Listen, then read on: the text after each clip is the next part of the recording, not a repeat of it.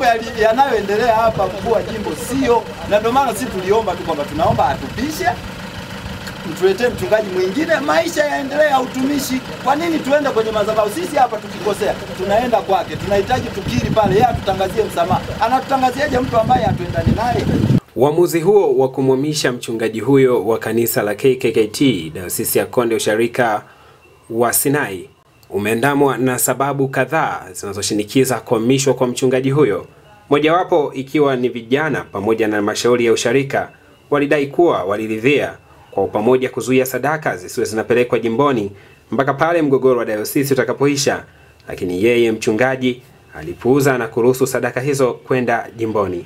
Lawama zote hizi zinamwelekea mchungaji Benjamin Mwaisumu ambaye mpaka sasa amehamisha familia yake. Hiyo ni kwa mujibu wa taarifa tulizozipata kutoka kwa washirika wa kanisa hilo, ambapo mkuu wa jimbo mchungaji Mwambola alihudhuria kikao kilichofanywa na halmashauri ya kanisa juu ya mambo kadha wa kadha yaliyohusu kanisa likiwemo la kuhamishwa kwa mchungaji wao.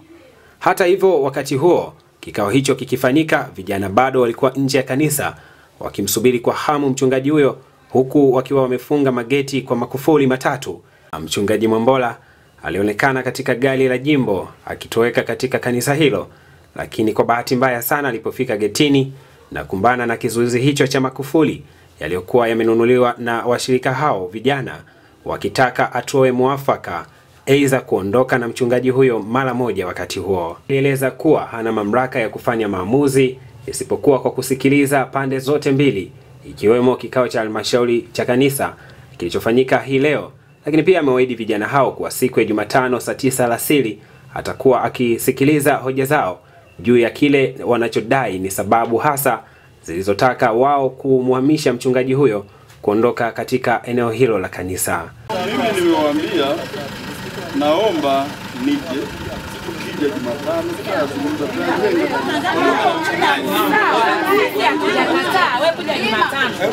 Ukianza kuzungumza namna hiyo Sisi mkuu, tumekubaliana na wewe kwamba Jumatano hiyo tuko tayari kukutana na wewe tuzungumze, ila hiyo Jumatano tunavyosubiri mchungaji hapa hatuhitaji awepo.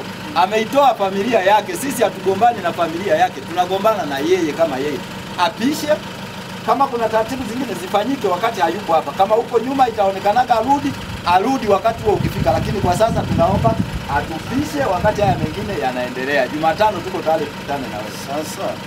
Ukisema wapishe sasa, si lazima utaratibu uandaliwe, toka tulivyofikia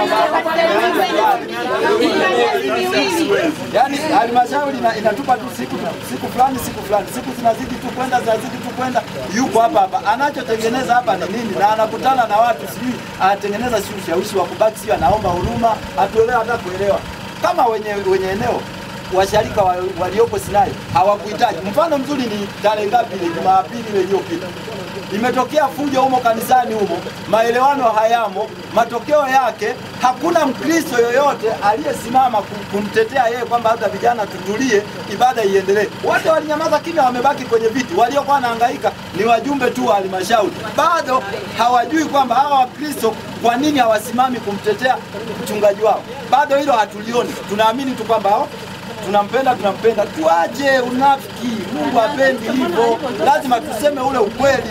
Unaona, kwa mambo yanayoendelea hapa, mkuu wa jimbo sio, na ndio maana sisi tuliomba tu kwamba tunaomba atupishe mtuletee mchungaji mwingine, maisha yaendelee ya utumishi. Kwa nini tuende kwenye madhabahu? Sisi hapa tukikosea tunaenda kwake, tunahitaji tukiri pale, yeye atutangazie msamaha. Anatutangaziaje mtu ambaye hatuendani naye? Umesema umeelewa? Si mnatakiwa na mimi nifanye maamuzi kwa busara, si ndio? Ndio maana nasema mniachie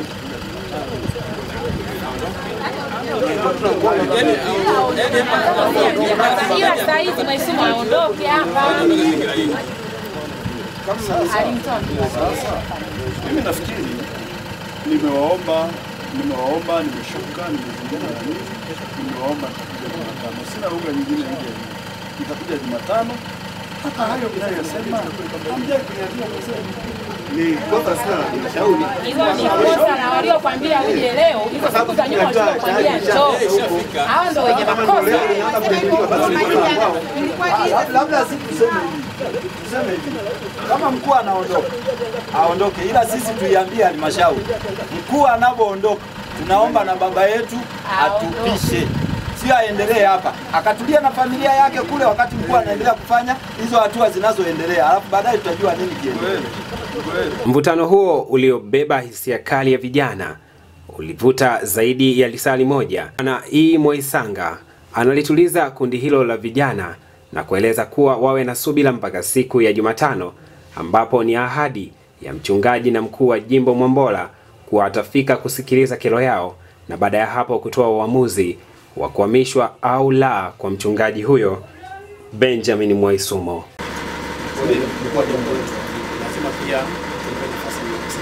Lakini tu hatuna wala hatuna kitu ambacho sisi kama vijana. Tutakaa naye, si binadamu wala kasema. Lazima. Lakini pia hata wao kama wachungaji natakiwa wajue wachungaji wanaenda katika eneo za hata wao kama wao waonyane, si ndio? Sababu wachungaji wanakuja sisi tu. Lakini Mpenzi mtazamaji wa Busokero TV, timu ya Busokero TV imeondoka eneo la tukio huku hali ya amani ikiwa ni shwari kabisa. Mtazamaji wa Busokero TV, tukusii kubaki nasi mpaka pale ambapo uamuzi utakapofikiwa, nasi tutakuwa tukikusogezea juu ya kile kinachoendelea, lakini tukusii kusubscribe channel yetu ya Busokero TV huku ukifuatilia makala nyingine kadha wa kadha tutakazokuwa tukikitumia